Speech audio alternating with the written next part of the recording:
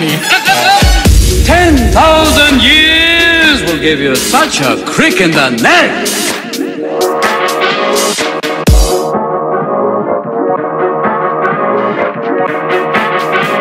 Nice to be back, ladies and gentlemen. Hi, where are you from?